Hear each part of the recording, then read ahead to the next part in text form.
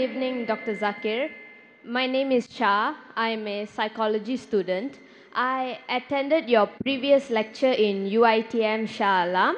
I must say I enjoyed your lecture a lot. Even today, I enjoyed your lecture.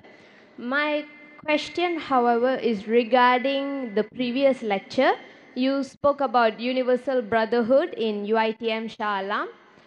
At one point uh, during the Q&A session, you mentioned that you were more Christian than the Christians. Now, I am not, uh, from what I know, a person is a Christian provided they are either baptized into Christianity or they accept Jesus Christ as their personal savior. Only then a person is a Christian. So I just wanted to know how exactly you could refer to yourself as more Christian than the Christians. That's all. Sister has asked a very good question. She asked a very good question. She heard my talk in Shah Alam and even here. She asked a question. I said that I'm more Christian than the Christians. How can I be a Christian if I'm not baptized, if I don't believe Jesus is God? Sister, you quoted me correct, but you didn't give my complete quotation. Before I said I'm more Christian than the Christian, I said one statement. If Christian means a person who follows the teachings of Jesus Christ, peace be upon him, then we Muslims are more Christian than the Christian themselves. There was a criteria before saying that. If Christian means a person who believes in teachings of Jesus Christ, peace be upon him, then I'm more Christian than the Christian themselves. And then I said that the Bible says that Jesus Christ, peace be upon him, was circumcised on the eighth day. Most of the Christians aren't circumcised, all the Muslims are circumcised.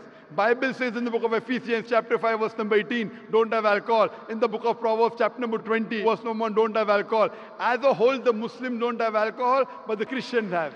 Bible says in the book of Leviticus chapter number 11 verse number 7 and 8 don't have pork. In the book of Deuteronomy chapter number 14 verse number 8 don't have pork. In the book of Isaiah chapter 65 verse number 2 to 5 don't have pork.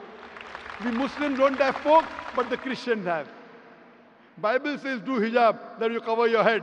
Bible says in the book of Deuteronomy chapter number 22 verse number 5, in 1 Timothy chapter number 2 verse number 9, in the 1 Corinthians chapter number 11 verse number 5 and 6, do hijab. The Muslim as a whole do hijab, but the Christian don't cover the head.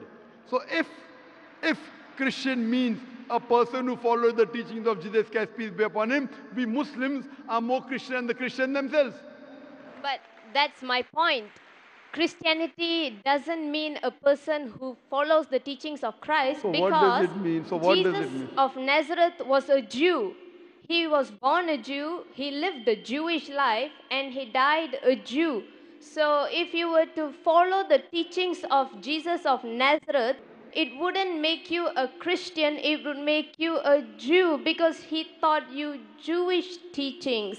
However, accepting Jesus of Nazareth as your personal Savior and only through Him you can go to heaven, that, however, Dr. Okay, Zakir, sister, will make you a Christian. Point out one verse of the Bible which says that accepting Jesus Christ as your Savior will make you go to heaven. Give me one equivocal statement in the complete Bible where Jesus Christ, peace be upon himself, says that I am God, or where he says, Worship me. I will accept your type of Christianity today.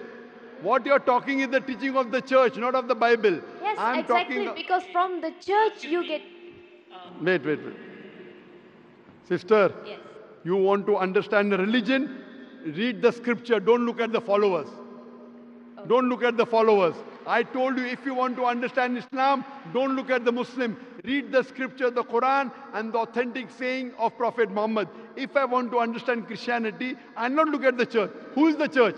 Church is not the custodian of the church Bible. is who created Christians. If not for the church, That's there what, won't that's what I'm telling you. Don't follow the church, follow Jesus Christ, peace be upon him. If there wasn't a church, you won't know Jesus Christ. So, in order to know Christ, That- you must give recognition to the church.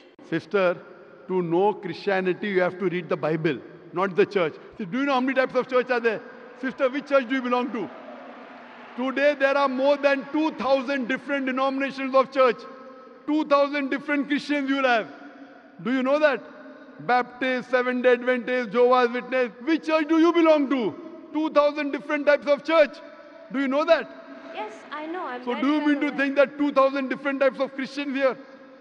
That's the reason, sister. If you want to understand Christianity, read the Bible. If you want to know the teachings of Jesus Christ, don't go to the church, go to the Bible.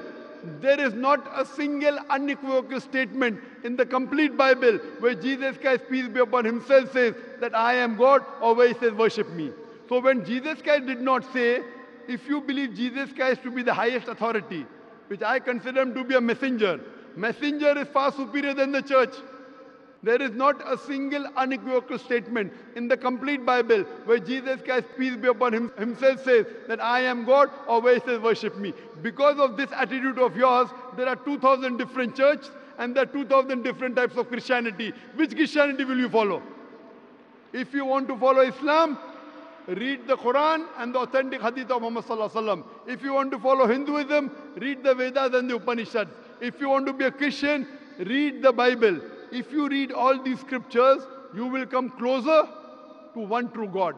That God which has got no image.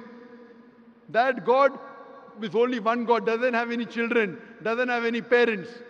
And Jesus Christ, peace be upon him, said in the Gospel of John, chapter number 16, verse number 12 to 14, I have many things to say unto you, but ye cannot bear them now. For he, when the Spirit of truth shall come, he shall guide you unto all truth. He shall not speak of himself. All that here shall he say, he shall glorify me. Here, Jesus Christ, peace be upon him, is talking about the last and final messenger, Prophet Muhammad to come. Peace be upon him. So he's telling all of you that follow the last and final messenger, but you don't want to follow. Because if everyone follows the last and final messenger, who will follow the church? Jesus Christ never said follow the church. Which verse of the Bible says that? Which verse of the Bible? So what you have to realize, read the teachings of Jesus Christ, peace be upon him. Anyone who tries and takes you away from Jesus Christ, peace be upon him, he's not good. That's the reason I said that if Christian means a person who follows the teachings of Jesus Christ, peace be upon him, I'm more Christian than the Christian themselves. Jesus Christ was circumcised, I'm circumcised. What has the church got to do in between that now? Jesus Christ has said you follow all the commandments in the Old Testament. Old Testament said don't have pork, yet the church says have pork. Who will you follow? Who is superior, Jesus Christ or the church? That's the reason to understand any religion, read the scripture, you'll come closer to that religion.